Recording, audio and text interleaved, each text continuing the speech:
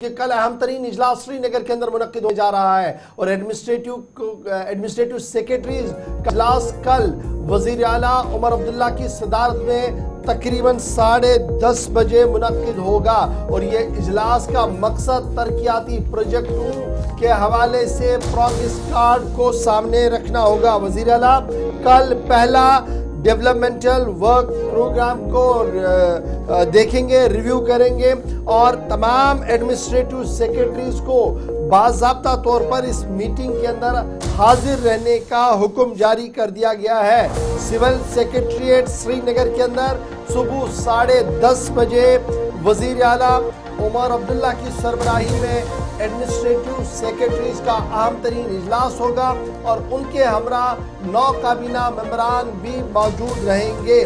और ये पहला इजलास होगा जिसमें काबीनी वजरा और उमर अब्दुल्ला यकसा मौजूद रहेंगे और तरक्याती मनसूबों से लेकर दीगर मामला पर तबादला ख्याल किया जाएगा।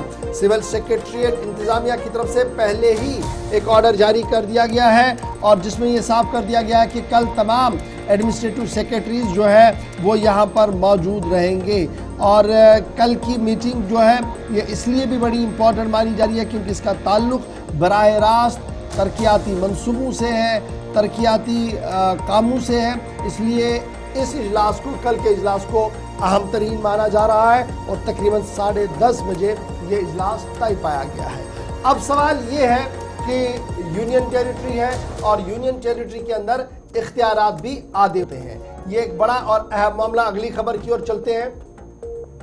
और इस आदि रियासत के वज़ीर अला बनने के साथ मसाइल और मुश्किल भी है। और तमाम लोगों की नज़रें जो है, वो इस पर लगी है कि क्या दिल्ली से दोस्ताना ताल्लुकात बहाल रहेंगे या लेफ़्ट जो दिल्ली वाली सूरत हाल है उस तरह से हुकूमत यहाँ पर होगी यानी अरविंद केजरीवाल बात बात पर अड़ते हैं वैसी सूरत हाल यहाँ पर भी बनेगी।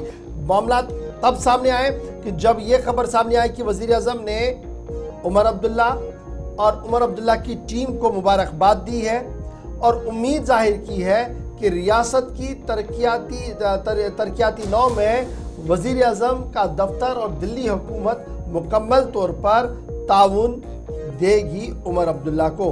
पहली हुकूमत का इजलास चंद दिनों के अंदर अंदर होगा, लेकिन 2019 के बाद ये पहला इजलास होगा जो अवामी मंतखबा नुमाइंदों का होगा।